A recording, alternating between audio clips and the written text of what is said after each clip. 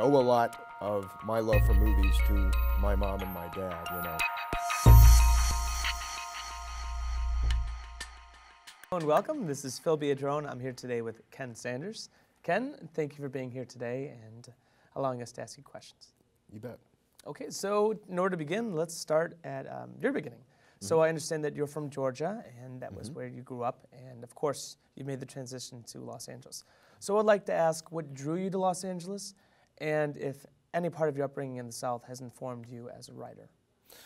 Oh, I, I well, to, to answer the second part of the question first, I think absolutely. Uh, I, I think, uh, well, first and foremost, I think this would apply to anybody. You know, my, my love of storytelling, I think, uh, in some ways came uh, from my family. It came from my parents, and both of my parents uh, were, were big uh, movie buffs.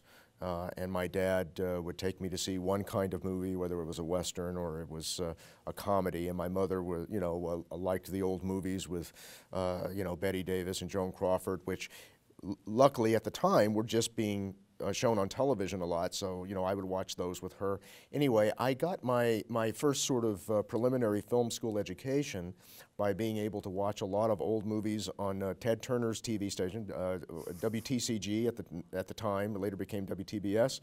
Uh, and uh, then and then then going to the contemporary films that were playing in theaters, often with my dad. That was our weekend thing, you know, the father-son thing that we did. So uh, you know, I, I, I, owe a lot of my love for movies to my mom and my dad, you know. Uh, but I do think, uh, you know, thinking more broadly about the South, uh, you know, the South, the South has always been a place, for whatever reason, that that has inspired writers, and certainly much better writers than me. But, uh, but there is something about growing up in the Deep South and in the Bible, Bible Belt and uh, uh, having this uh, hyper awareness uh, of good and evil. Uh, there, there, is a, there, there is that that is sort of in the, the, the Southern soul, and I think the, the, that, that is something I carry with me into my work uh, as an adult, uh, I, I, I, have a, I have a certain preoccupation, I think, with, um, uh, with understanding uh, evil. And uh, I, I like in, in, my storytelling to, um, to present uh, the opposition in terms of my understanding of what I would call the evil personality. That is to say, uh, uh, M. Scott Peck would call it the, you know, the, the, the pathological narcissist that, that causes chaos and, and, and, and tears people, people's lives apart.